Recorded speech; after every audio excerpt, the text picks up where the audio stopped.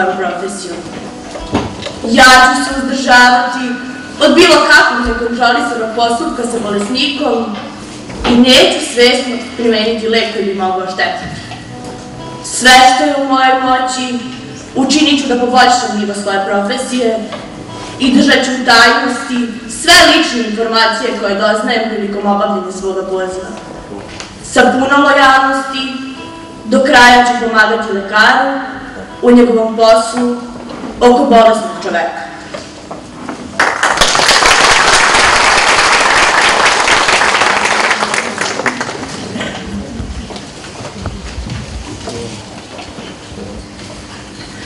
Uvaženi skupe, dobar dan, dobrodošli na Centralnu akademiju povodom 12. maja Međunarodnog dana medicinskih sestara. Akademiju organizuje Društvo medicinskih sestara, tehničara i babica Srbije, članice Međunarodne federacije sveta i Evropske federacije sestara. Ova akademija se priređuje u spomen na dan rođenja Florence Nightingale, prve školovane medicinske sestre. Florence Nightingale je rođena u Firenci u Italiji 12. maja 1820. godine kao čerka bogatog veleposjednika Williama Nightingala. Kao mlada imala je mogućnost da putuje i stekne dobro obrazovanje. Govorila je sedam jezika, pokazivala sklonost prema matematici, posebno statistici, ali i za sestrinstvo. Negovala je rođake, poslugu, komšije i sa manjkom obilazila siromašne. Prilikom putovanja na koja su je roditelji slali, koristila je priliku da obilazi bolnice i da razgovara sa stručnjacima koji su u njima radili. 1851. godine odlazi u Nemačku, gde je mnogo naučila o značaju reda i discipline u zdravstvenim ustanovama.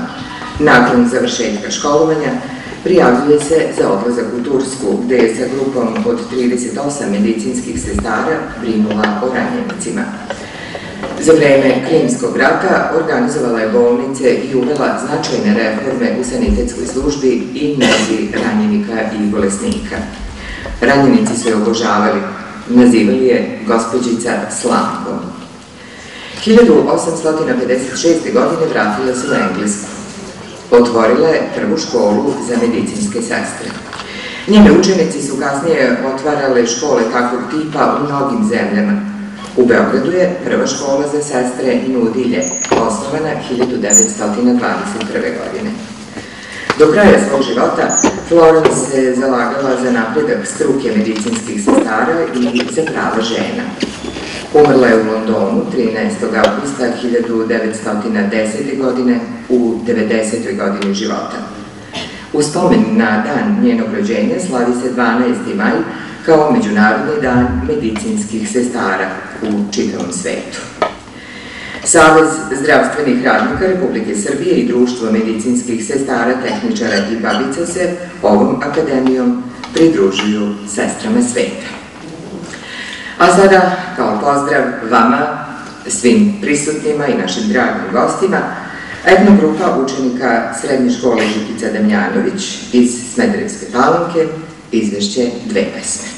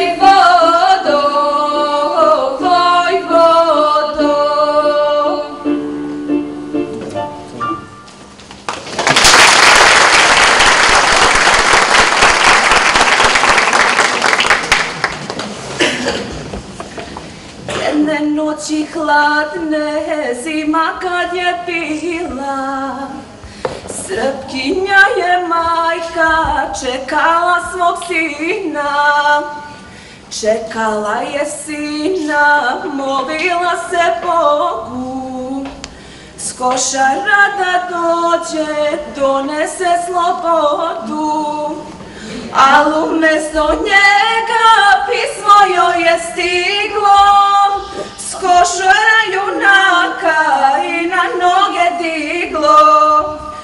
S ovog boja, majko, povratka mi nema, Ko košare čuva, zna da zlo se sprema. Ja ti, majko, živ se, vratit kući neću.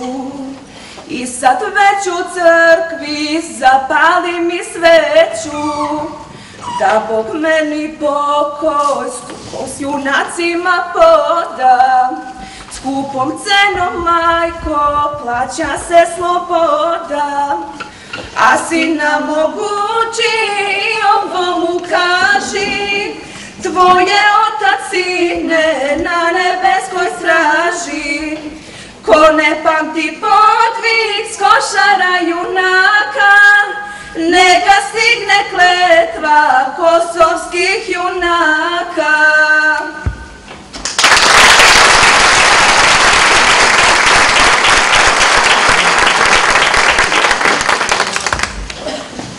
Hvala učenicama Srednje škole Živice Damjanović, budućim medicinskim sestrama.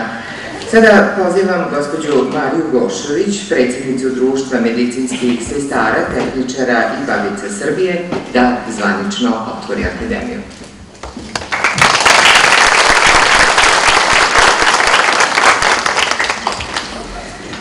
Srećan nam praznik, umesto dobar dan. Jedan dan u godini je naš, pa ne bude i onih ostalih 364, svi su naši.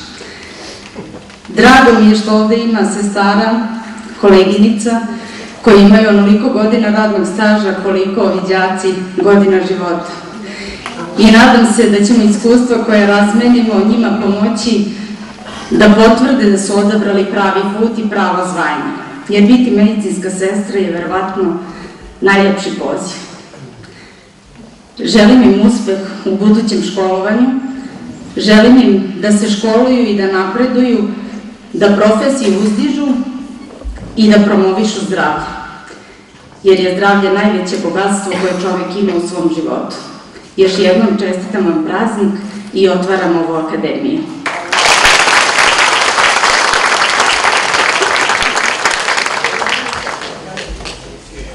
A sada molim gospođu Radmilu Nešić, predsjednicu Saveza udruženja zdravstvenih radnika Republike Srbije, da vas pozdravi i u ime Saveza otvori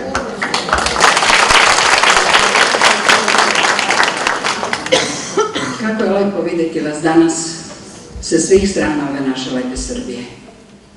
Ali ja vas molim da minutom čutanja danas odamo poštu zlatnim koleginicama koje su 2004. osam i sente naše članice izgubile život kad su krenule na naš stručni skup. Posthumno smo ih odlikovale. Osam je poginulo, vozač je bio deveti i pacijent. Svima njima danas dodamo jedan minut da im posvetimo sećanju. Imaju decu. I koleginici Ljubinke Pavlović i Šapca, takođe našem članu koji je svirepo ubio pacijent na radnom mestu.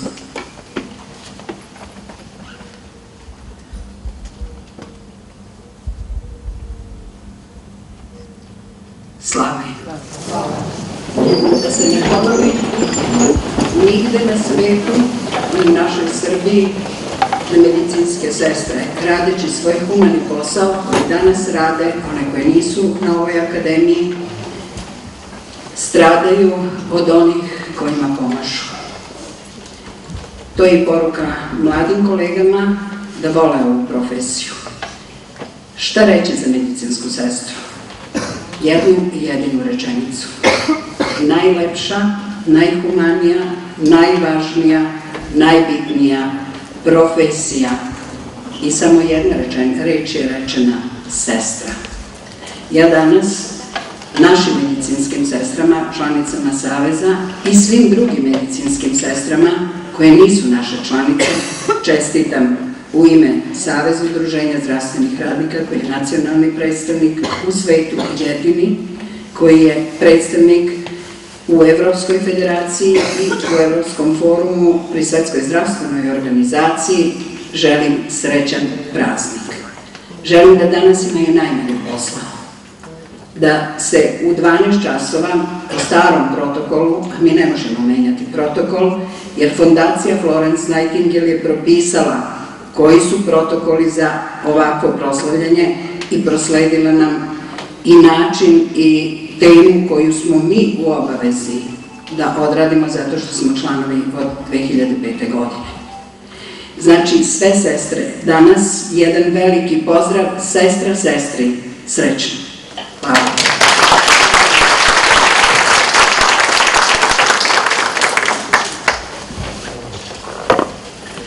Još jednom ćemo vidjeti buduće medicinske sestre i tehničare koji se spremaju za ovo humano zanimanje u srednjoj školi Živica Damjanović u Palanci. Biće to i svojevrsna ilustracija stručnog, sveobuhvatnog i posvećenog rada sa ovom decom u Palaničkoj školi. Dakle, sekcija zdravstvene nege učenika srednje škole Živica Damjanović u Palanci i prikaz o začecima sestrinstva u Srbiji.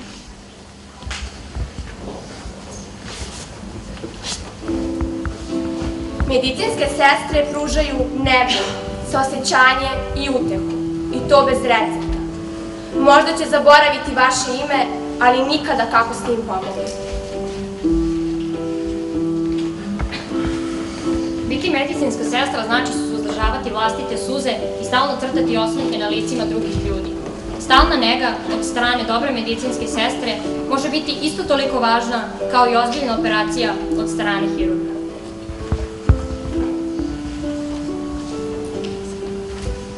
Svaka medicinska sestra je anđel čuver sa ključem zdravlja zajednice. Možda svakoga dana moram da se suočim sa opasnošću, ali se ne plašim. I dok naši vojnici mogu da stoje i bore se, mogu ja da stojim, hranim ih i negujem.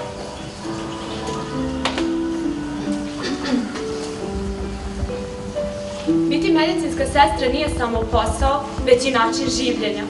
Ako spasite jedan život, onda ste heroj. Ako spasite stotine života, onda ste medicinska sestra. Najbolji savet koji jedna medicinska sestra može dati narodu je uverenje da je svaki čovek vredan član ljudske zajednice, da ima svoja prava i svoje dužnosti i da ga osposobi za borbu za život. Biti medicinska sestra znači uraditi ono što niko drugi neće, na način na koji apsolutno niko drugi ne može, uprko svemu šta prolazi.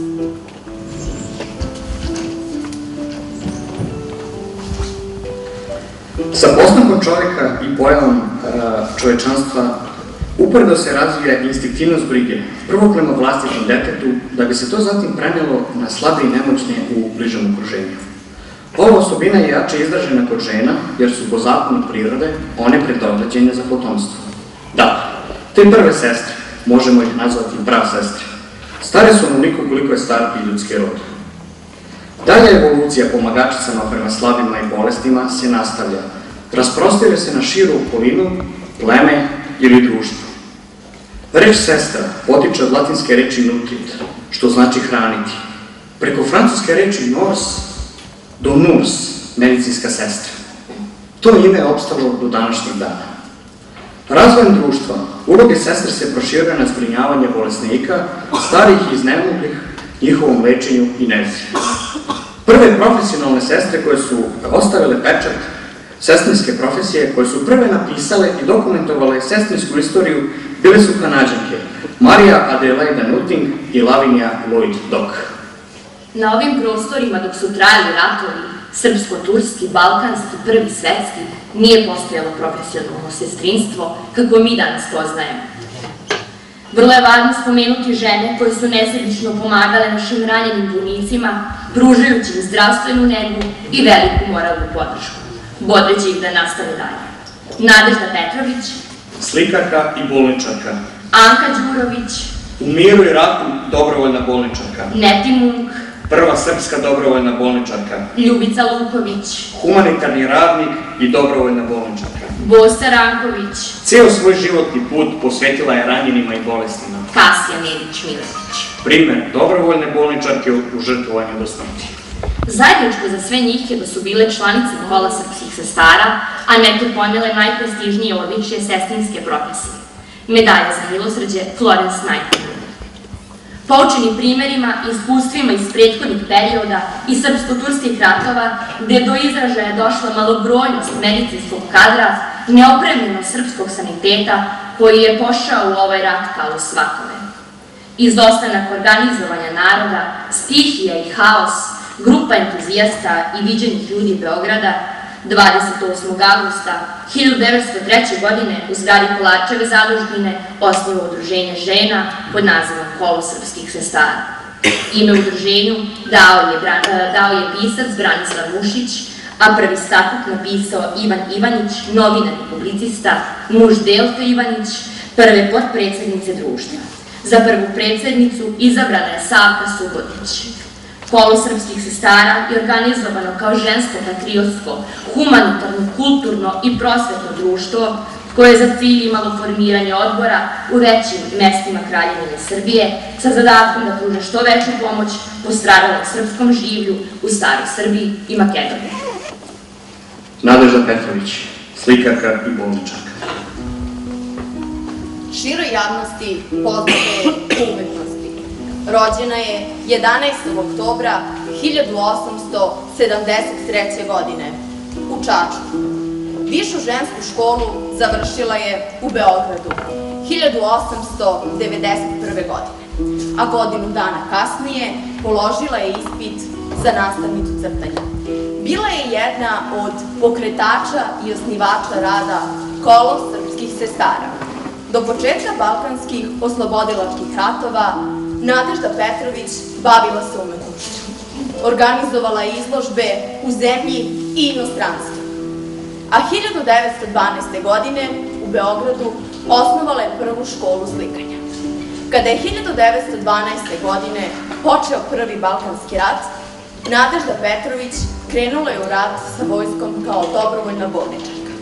Uz sve strahote rata i lično preživljavanja, ova hrabra i neustrašiva žena uspela je sve to da prenese i na planu. A na svojim dopisnicama prenela je i ovekovečila borbu i stradanje jednog naroda. Mi ovde živimo u neprekidnom jauku ranjena, prebijanju rana, pokliču naše junačke vojske, marševima njihovim, dočeku i ispraćanju njihovom na bojno polje, da ih otuda ranjene primamo i negujemo. Pa ipak sve ode sa oduševljenjem, a Turci gube bitke i naša pobeda je na pomolu.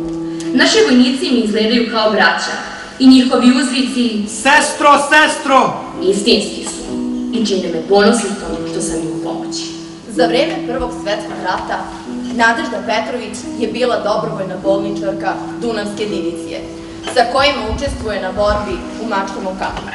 Ona je nesebičnim davanjem sebe u tim strašnim trenucima uspela da pruži pomoć onima kojima je tada bilo najteže. U Zatišju, po završetku Cerske i Kolubarske bitke, Nadežda odlazi u Skoplje sa porodicom. I umesto da prihvati da ode na konferenciju u Rim ili da radi u državnoj bolnici u Beogradu, ona sa odličjem hrabre žene odlazi u Valjevo. Tada je Valjevo bila jedna velika kužnica, u kojoj se jedva znalo ko je živ, a ko mrtav. U toj bolnici prepunoj ranjenika Nadežda je radila na infektivnom odeljenju. U proleće 1915. godine, nakon Suvogorske bitke, Valjevskom bolnicom harao je pegavi tifus, odnoseći mnoge živote sa sobom. Među njima našla se i Nadežda Petrović. Bolovala je sedam dana, a umrla 3. aprila 1915. godine. Njeno herojstvo, nesebično davanje sebe i žrtvovanje zabeleženo je i u romanima naših pisaca, među kojima su romani Dobrice Ćosića, Vreme smrti, Vernik, Otmak. Anka Đurović, u miru i ratu dobrovoljna bolničarka.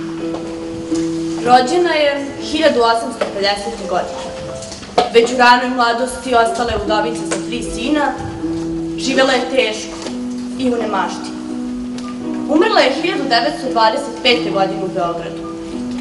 Već po izbijanju Srpsko-Turskog rata 1876. godine Anka se angažovala kao dobrovoljna bolničarka u vojnoj bolnici u Kruševcu.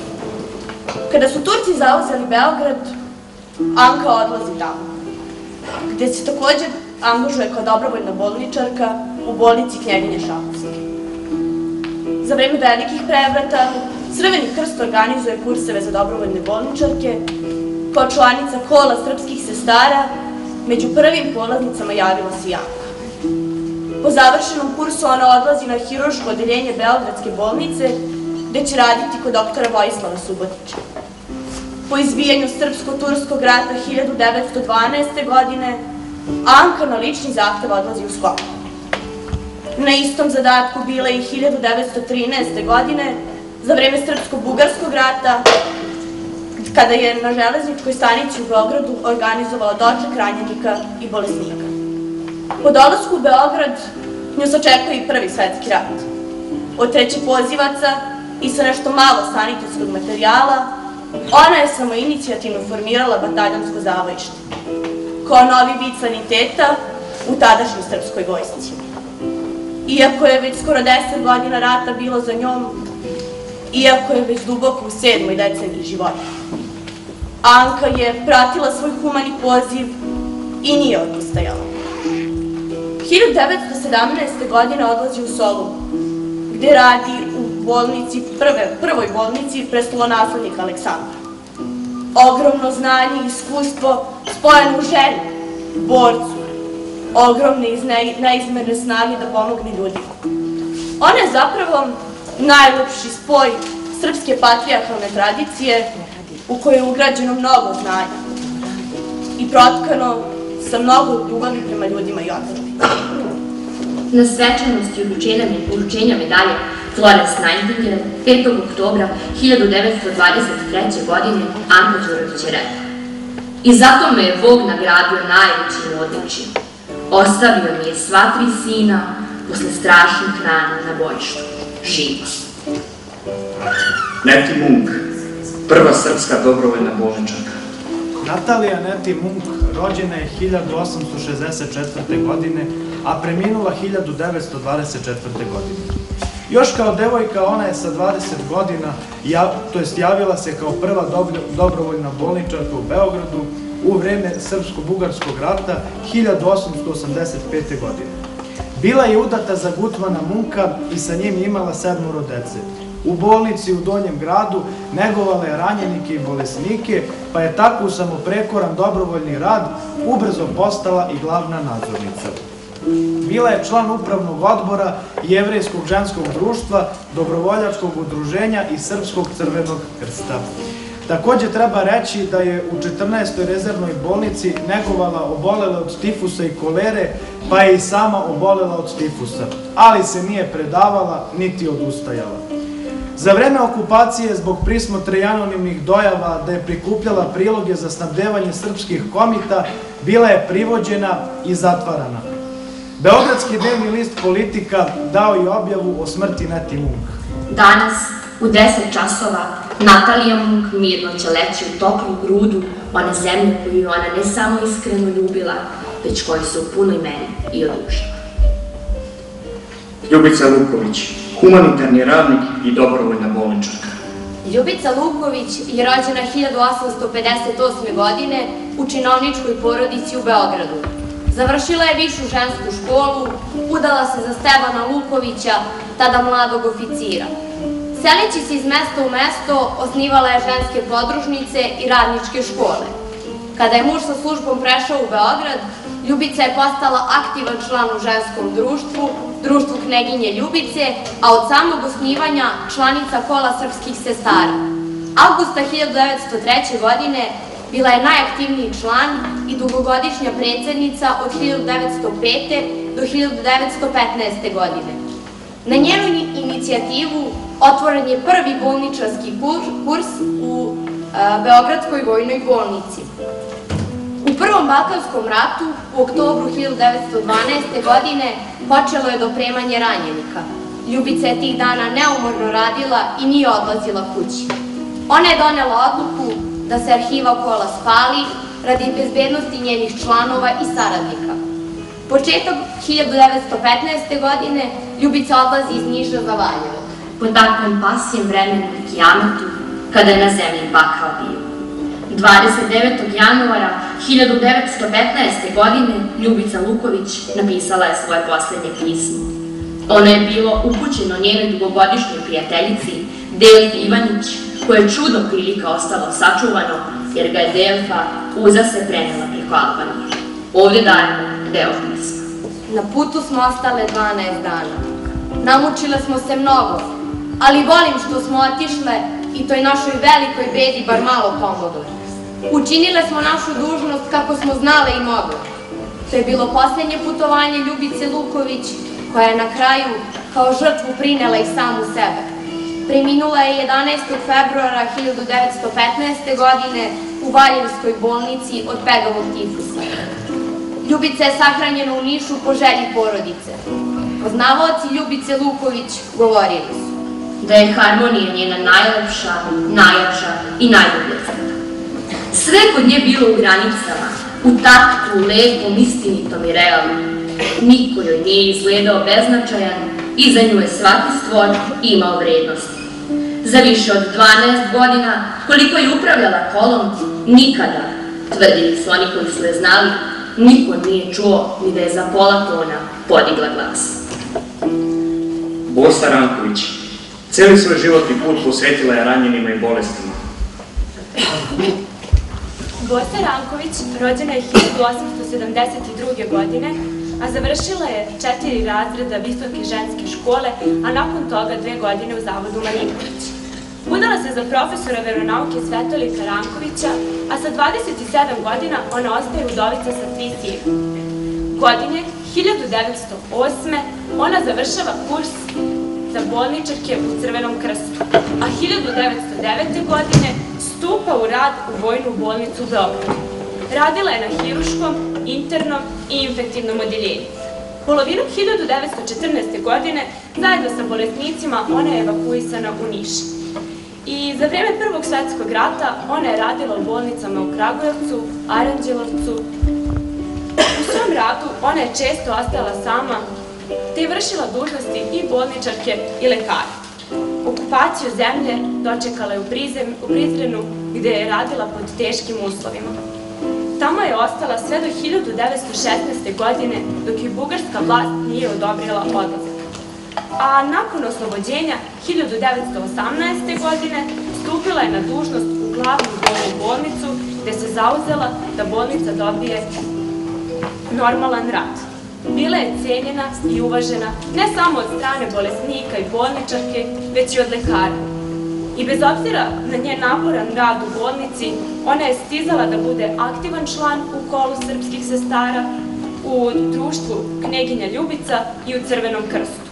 A po osnivanju bila je među prvim članovima i u prvim redovima ženske stranke. Kasija Nedić Miletić, primer dobrovoljne bolničarke u žrtvovanju do smrti. Kasija Nedić Miletić je rođena 1875. godine i bila je udata za kapetana Dragutina Miletića. Kao mlada žena pripadala je naprednoj generaciji i bila je društveno aktivna. Na velikom mitingu žena na Kolarcu u Beogradu 15. augusta 1903. godine na osnivačkoj skupštini kola srpskih sestara izabrana je u članstvo uprave kola. Zajedno sa Nadeždom Petrović, ona se 1915. godine našla u Valjevskoj bolnici kao dobrovoljna bolničarka, a tamo, negujući obolela od tifusa, i sama je obolela i preminula iste te godine. Za razliku od žena koje su vladale svetom, ovo je priča o ženama koje su služile Srbiji. U najtežim godinama, na veličanstven i human način, u pozivu lišenom ličnih ambicija i koristi, u pozivu koliko lično bolnom i zahtevnom, toliko ljudskom, toplom, i ispunjeno ljubavlju i sreće, kada dobiju zahvalnosti od onima koji su mogli da pomognu. Posmatrajući likove ovih žena, shvatamo da pored znanja, obučenosti i škole, ono što treba da posjeduje neko ko se opredili za ovaj poziv, jeste spremnost na žrtvovanje, na samoprekoran rad, ne, e, ne, nesebičnost i neizmerljivost u radu, jer se stristvo je poziv gde se ceo daveš ne zahtjevajući ništa za uzgled. Hvala.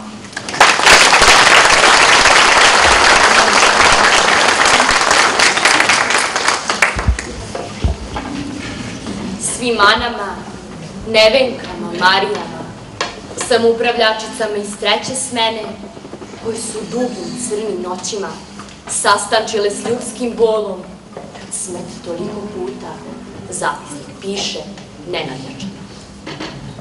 Nevenkama, Anama, Marijama, saputnicama svojim, neovlašćena i nepovlašćena, govori. Naše je zvanje i teško i lepo. Na našim rukama boluju ljudi. Za svakog čoveka sve treba dati. Trebamo dostojno putem koračati, na kome nas ne čeka uspona slava. Ni profesure, ni doktorati.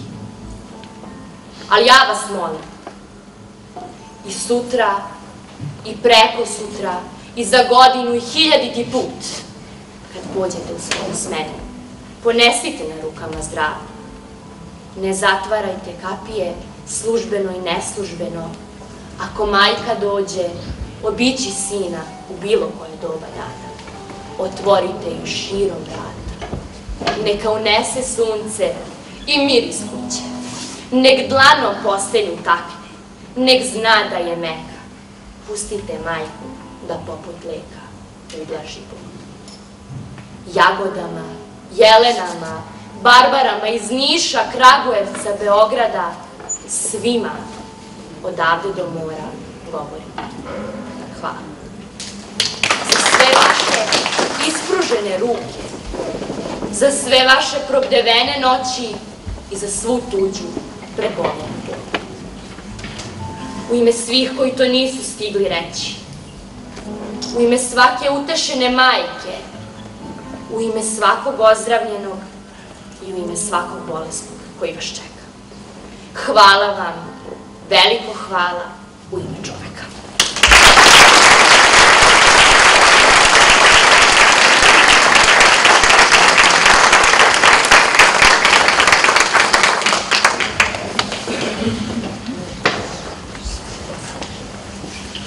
Divno i dirljivo, to potvrđuje i vaš aplauz, još jednom hvala ovoj divnoj deci iz uh, srednje škole Živce Damjanović u Palanci.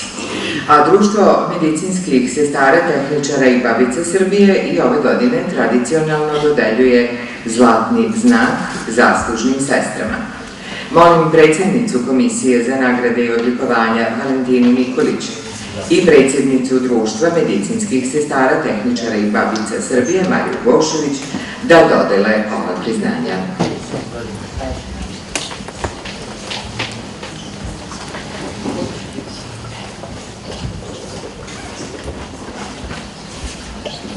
Dobar dan. Ja bih isto u svoje u ime članova komisije za nagrade i priznanja čestitala svim sestrama, odnosno svima nama, naš dan. Društvo medicinskih sestara i tehničara i babica Srbije kao članica ICN-a, Međunarodnog veća medicinskih sestara sveta i Evropske federacije sestara, nastavlja tradiciju i 12. maja koji se proslavlja kao Međunarodni dan medicinskih sestara, u spomen rođenja Florence Nightingale, dodeljuje zlatni znak najboljim sestrama za svoj doprinos u radu. Takođe, zlatni znak se dodeljuje i profilskim društvima, a priznanje se dodeljuje i najboljim učenicima završnih razreda srednjih medicinskih škola, kao i najboljim studentima Visoke zdravstvene škole strukovnih studija. Ove godine čast je zadovoljstvo da se Centralna akademija održi ovde je e, Udruženje zdravstvenih radnika Smederevska palanka. Komisija za dodelu nagrade i priznanja e, Savjeza zdravstvenih radnika Republike Srbije broji sedam članova i oni su na svom sastanku koji je održan u prostorijama Saveza razmatrali pristile predloge i jednoglasno donili odluku da kandidatima koji ispunjavaju kriterijume dodeli obeleže za koje su konkurisali. Ove godine biće dodeljene četiri zlatna znaka koji će biti uručeni danas na Centralnoj akademiji. E, dobitnici zlatnog znaka za, 2000, za ovu godinu su na predlog Udruženja zdravstvenih radnika Činskog okruga Dragan Ristić. Dragan Ristić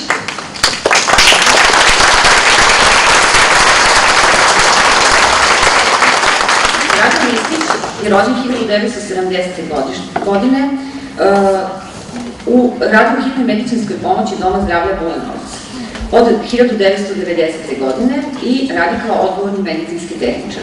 Aktivan je u Udruženju zdravstvenih radnika Pčinskog okruga od osnivanja, delegat je komore medicinskih sestara i zdravstvenih tehničara Ograna iz Niš, licenciran je predavač prve pomoći i volonter Crvenog krsta u Bujanovcu.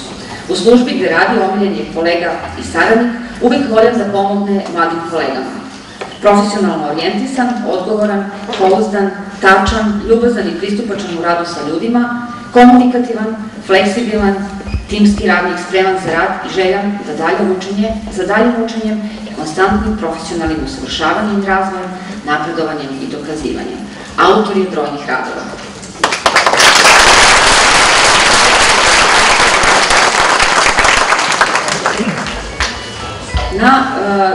Dobitni drugog zlatnog znaka je uh, na predlog Udruženja zdravstvenih radnika Eduka Niš je Mirjana Ristić. Mirjana Ristić je rodina 1959. godine, godine medicinska sestra Doma zdravlja Niša. Član je izvršnog odbora udruženja Eduka, radni odnos počeo u službi kućnog lečenja, a od 2012. godine radi kao glavna sestra specialističko-konsultativne službe Doma zdravlja Niš. Edukovana je za obuku pacijenata za kontaktna sočeva, član je radne grupe Doma zdravlja za, na projektu za bolju komunikaciju gluvih i gluvonemih, kao i član grupe za implementaciju sprečavanja najtežih oblika nasilja na decu. U vezi ovog programa išla je na edukaciju na Islandu. Na svim mestima pokazala je izvanredan profesionalizam i predanost poslu. Autor je i prezentovala je znatan broj stručnih radova. Ona je vredna i zanimljiva osoba koja teže da sa pacijentima i kolegama održi prijateljski i otvoren odnos. Vodi primerom i učestvuje u obuci mlađih kolega. Spremna, samouverena i iskusna u svom poslu.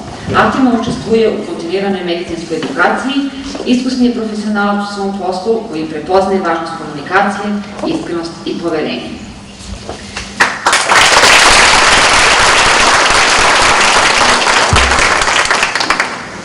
Koleginica Biljana Arsić, na predlog Udruženja zdravstvenih radnika Eto Niš.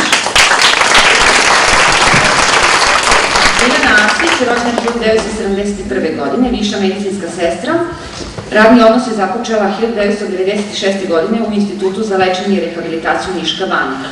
Radila kao medicinska sestra na odeljenju ortopedije, a od 1998. do 2000. godine, 2010. godine bila odgovorna medicinska sestra ortopedije.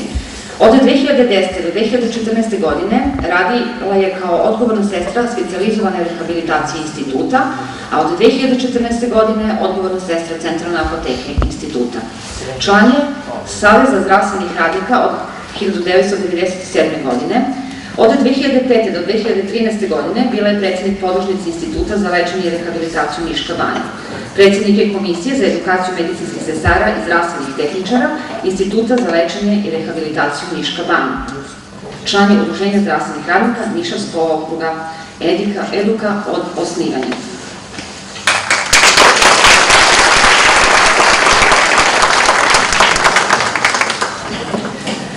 Na predlog Udruženja zdravstvenih radnika Jablaničkog okruga Valentina Nikolić rođena 1973. godine, visoka strukovna sestra iz opšte bolnice Leskovac. Radni okruг zasnovala 1996. godine u opšte bolnici Leskovac. Od 2000. do 2005. godine radila kao glavna sestra odseka za digestivnu i interventnu endoskopiju, a od 2005. do danas radi kao glavna sestra službe interne medicine sa dermatovenerologijom i onkologijom, opšte bolnice Leskovac. Član je edukacijonog centra i član je Komisije za unapređenje kvaliteta rada u opštoj bolnici Leskovac. Valentina je član Saveza zdravstvenih radnika od zasnivanja radnog odnosa. Za podpredsednika Udruženja zdravstvenih radnika Jablaničkog okruga izabrana je 2006. godine. Podpredsednik je endoskopske sekcije Saveza. Napisala je i prezentovala znatan broj stručnih radova. Aktivna u profesionalnoj organizaciji, aktivno učestvuje u edukaciji i organizaciji stručnih skupova u svojoj ustanovi. Vredna, požetovana, komunikativna, uvek spremna za samostalni i timski rad.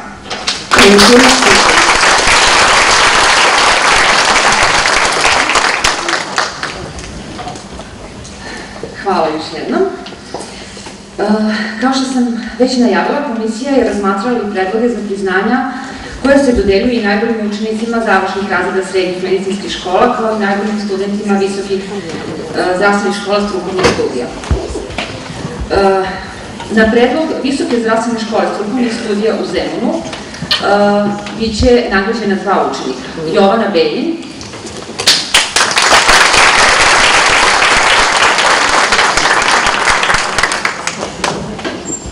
Jovana Berin je rođena 1996. godine u Vršcu, gde je završila srednju medicinsku školu sa odličnim uspehom. Nakon toga e, dolazi Nakon toga odlazi u Beograd gde upisuje visoku zdravstvenu školu strukovnih studija, ostaje strukovna medicinska sestra. Drugu godinu završila je sa prosekom 9.33 i time je zauzela prvo mesto na rang listi. Prosečna ocena u toku studija je 9.05, što je omogućilo i korišćenje studentskog doma u kojem i boravi dve godine, kao i korišćenje studentske stipendije. Ovaj poziv je odabrala jer je human i želi da pomaže ljudima i to je čini srećnom i ispunjenom.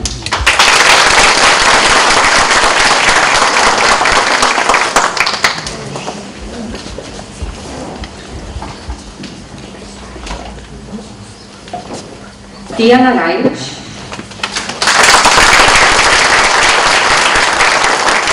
Tijana Rajlić rođena je 1996. godine u Vršcu, gde je završila srednju medicinsku školu sa odličnim uspehom i odlučila da svoje školovanje nastavi u Beogradu, gde je 2015. godine upisala visoku zdravstvenu školu strukovnih studija e, i zauzevši drugo mesto na rang listi. Prvu godinu studija završila je sa prosekom 9.0 i zauzela drugo mesto na konačnoj rang listi. Prosečna ocena u toku studiranja 9.17, što je omogućilo niz pogodnosti, kao što je finansiranje iz budžeta Republike Srbije, boravak u studentskom domu i korišćenje studentske stipendije.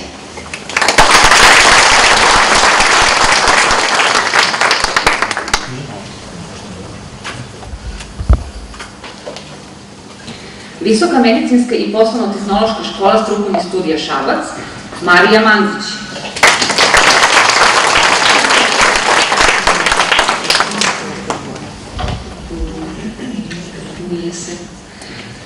Visoka medicinska škola strukovnih studija Milutin Milanković Beograd, Nataša Božinović. Nataša je rođena u Smederevu gde je završila osnovnu školu i Smederevsku gimnaziju. Uh, upisala je 2012. godine gimnaziju, a završila je 2016. Upisala je visoku školu uh, Milutin Marković u Beogradu, Milanković u Beogradu, prosek ocena 9.38. Dobrovoljni je davalac krvi od 2016. godine do danas. Praksu je odrađivala u kliničko-bolničkom centru Zvezdara, Dom zdravlja Smederevo, na VMA i Medio Group.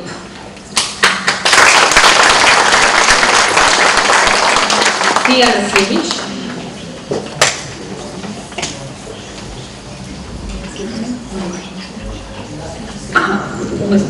Dobro.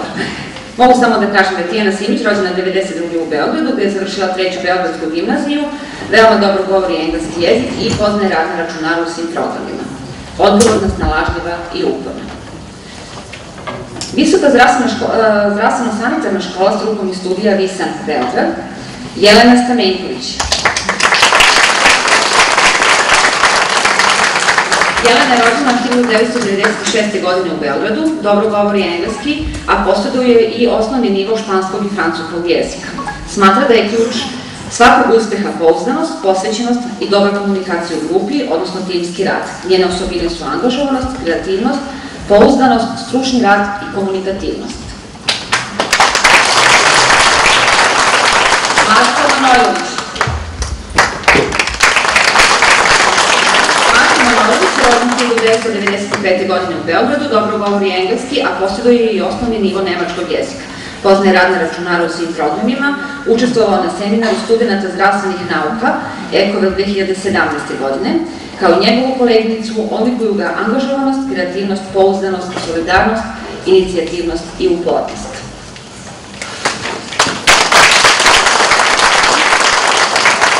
Srednja medicinska škola dr. Miša Pantić Valjevo, Danijela Obradović. Danijela Obradović je rođena 1999. godine u Ljuboviji i osnovnu školu završila sa odličnim uspjehom. Ona je profil ginekološko-akušerska sestra i jedna od najboljih učenica, posebno se ističe iz stručnih predmeta zdravstvene nege i praktičnih veština. Više puta je nagrađena za svoje dostignuća na takmičenjima iz zdravstvene nege. E, stipendista je Ministarstva prosvete Republike Srbije. Školu je iz zdravstvene nege predstavljala na republičkom nivou pod mentorstvom nastavnika zdravstvene nege i njihove škole. Anđela Jovanović, rođena 1999. godine u Leskovcu, osnovnu školu završila u Bresovcu sa svim peticama. Učestvovala na mnogobrojnim takmičenjima iz radnih predmeta, član je dramske i recitatorske sekcije. Bila je pobednik u kvizu Igre za život. Njen moto je sve možeš da postigneš ako se dobro organizuješ. Planira da upiše medicinski fakultet jer želi da pomaže ljudima. Vojislava Đorđević.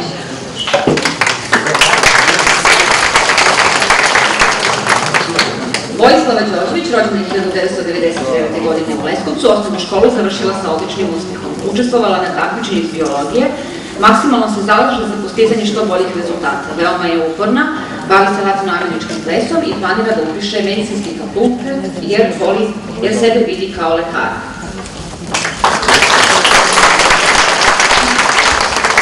Srednja medicinska škola Beograd na Zvezdari. Jana Stamenković.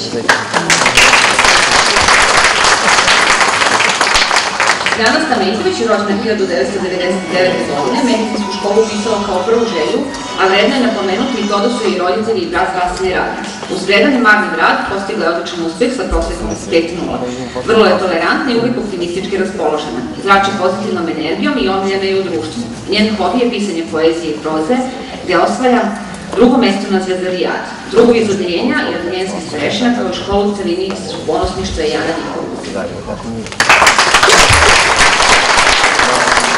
Nazija Zmajilović.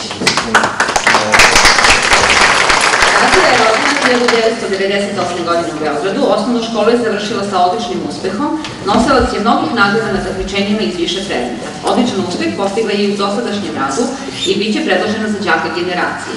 Proglašena je za najboljeg i, praktičara i bila predavač u praktičnom delu uglednog časa, dezinfekcija i sterilizacija. Osvojila je drugo mesto na takmičenju zdravstvene nege i bila predstavnik škole na sajmu obrazovanja. Nastavnici za nju imaju samo reči hvale o njenom vedrom duhu, divnom osmehu i pozitivnom odnosu prema radu, drugovima i pacijentima. Za razviju nema, ne mogu i neću, za nju ne postoje prepreke. Srednja medicinska škola sa domom učenika sestra Nikolić Kragujevac. Gorana Lepić je rođena 1999. godine u Kragujevcu gde je završila osnovnu školu sa odličnim uspjehom. U toku dosadašnjeg školovanja osvojila je više priznanja i nagrada i učestvovala u mnogim aktivnostima. Bila je član mnogobrojnih sekcija, a dobitnik je i medalje na takmičenjima u karatu. Učestvovala je u takmičenju iz prve pomoći, specifičnost timskog rada je joj omogućio da pokaže svoju borbenost i upornost kao i znanje, ali i odličan praktičan rad. Dobila je sertifikat uh, na uh, temu o prevenciji SIDE. Bojana je osoba vedrog duha, član je sekcije za zdravstvenu negu i član uh, sek, učestvovala je u organizaciji i preuređenju škole. Član je ekološke sekcije i učestvovala je u organizaciji preuređenju škole. Pokazuje izuzetno znanje, komunikaciju sa pacijentima i učestvovala je na takmičenju iz zdravstvene nege. Veoma je odgovorna, član je Đačkog parlamenta i pokazuje izvanredne liderske sposobnosti. Učestvuje u raznim humanitarnim akcijama za decu bez roditeljskih staranja, govori engleski i italijanski jezik, voli da čita knjige i obožava fotografiju.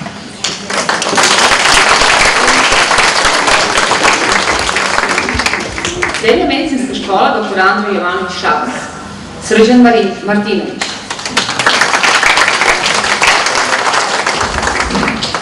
Srednja medicinska škola Milutin Milanović Jagodina, Isidora Aleksić. Aleksić je vrhunski osposobljena za rad na zdravlja, sprečavanje bolesti, lečenje i rehabilitacije. Sposobna je za samostalni i timski rad. Kvalitetno pristupa rešavanju zdravstvenih problema iz njenog delokruga, odlična je u sprovođenju terapije i nege bolesnika. Emocionalno je zrela i stabilna ličnost, humana, stručna, komunikativna, strpljiva i odgovorna. Vredna je i postiže odlične rezultate. Aktivna je i u van nastavnim aktivnostima i učestvuje u humanitarnim akcijama. Za svoj rad zaslužuje se pohvale. Draga i poželjna osoba za druženje i saradnje. Srednja medicinska škola Žigica Damjanović Smederevska Palanka. Stefan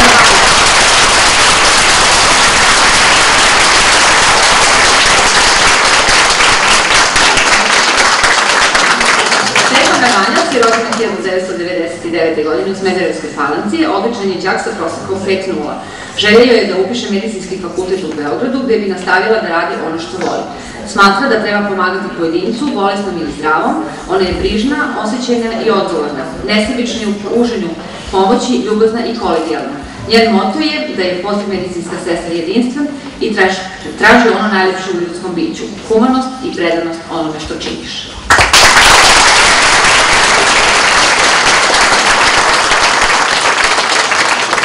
Imamo samo još i predlog iz srednje medicinske škole Nadleža Petrović iz Zemuna, koji su bili sprečeni, pozdravili su skup i zahvalili se na nagradi. Samo da pomenem njihova imena, to su Melinda Lungu i Jovana Trkura.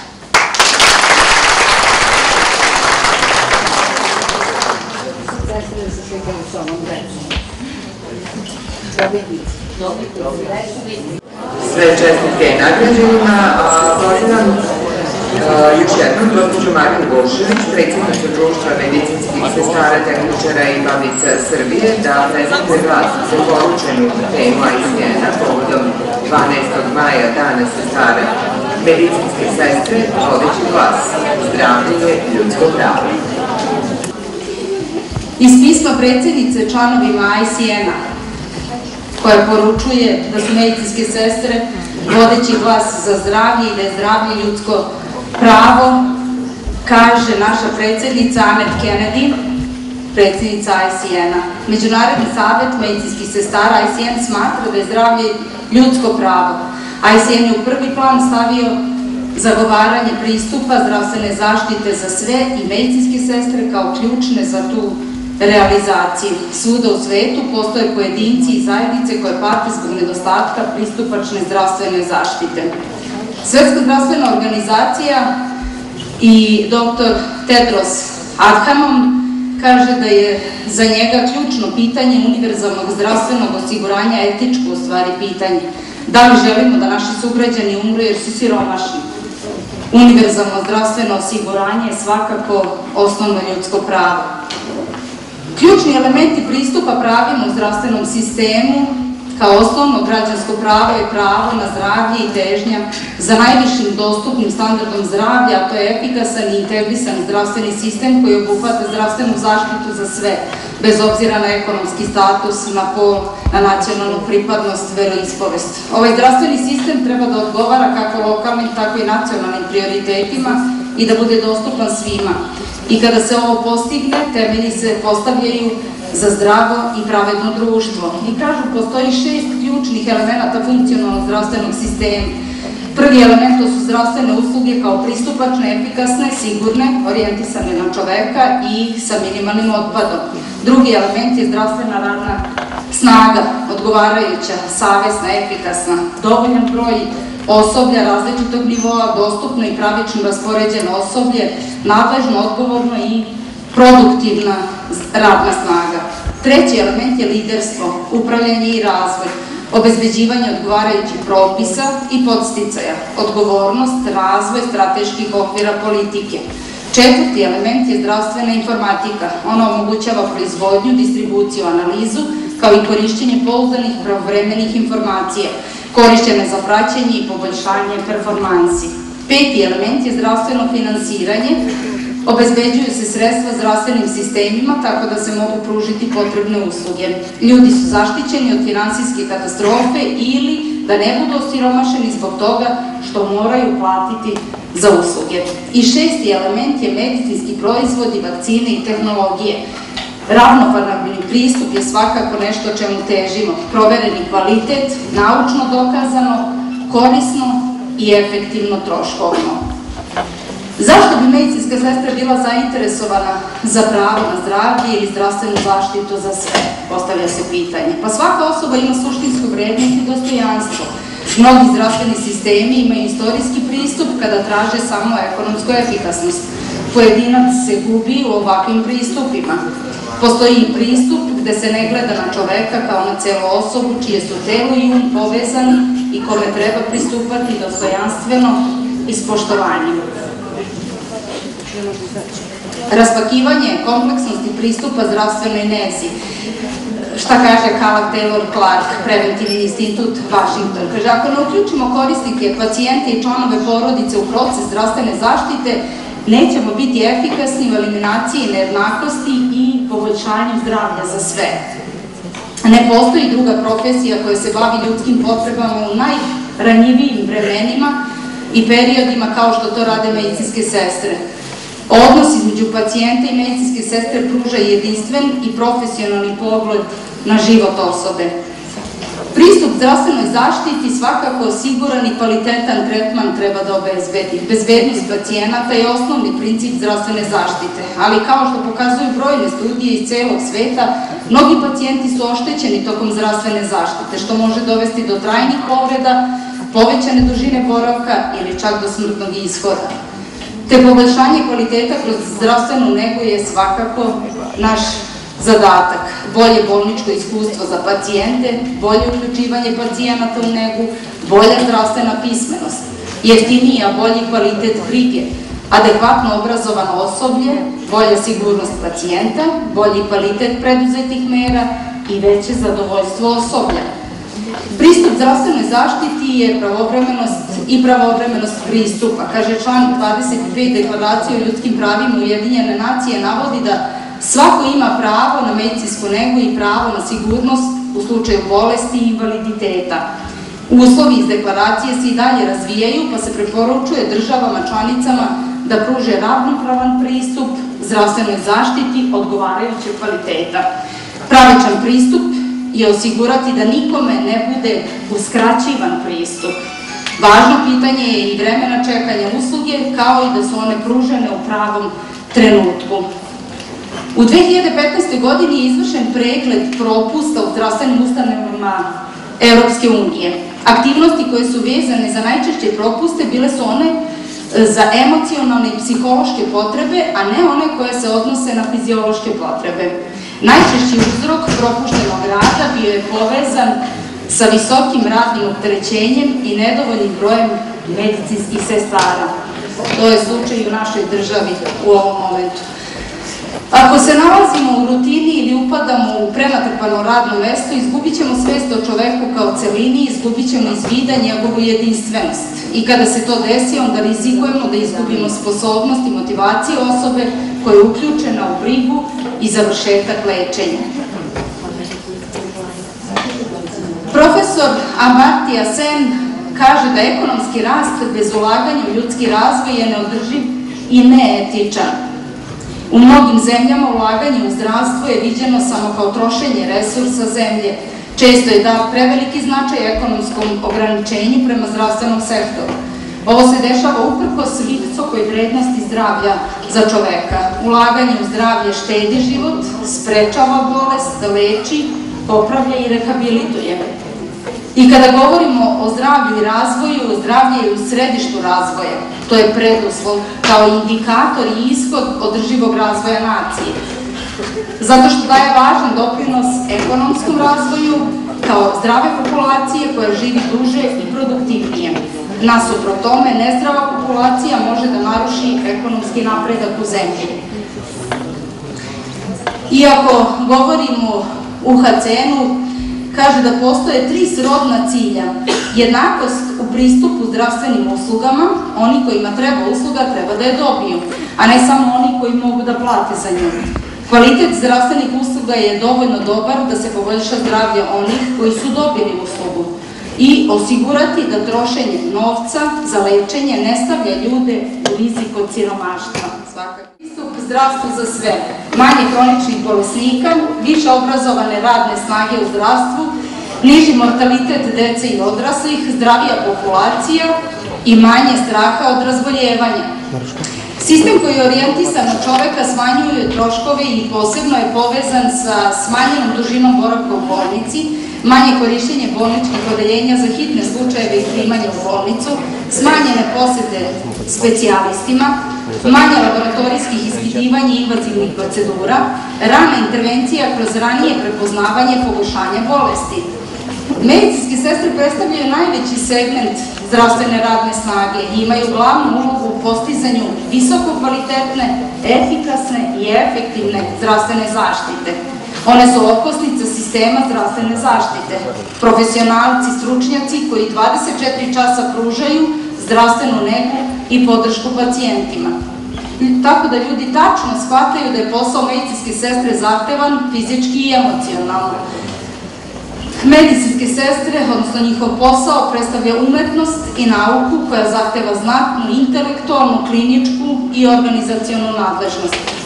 One su na prvoj liniji, pružaju holističku negu, procenu i praćenje pacijenata, a po potrebi iniciraju intervencije za poboljšanje zdravstvenih rezultata, ukazuju na komplikacije ili na smanjenje rizika, vode i koordiniraju zdravstvenu negu koju pružaju drugi, pružaju informacije pacijentima, porodicama, starateljima, osnažavaju partnerstvo sa pacijentima radi poboljšanja zdravstvenih rezultata, zagovaraju individualne zdravstvene potrebe pacijenata.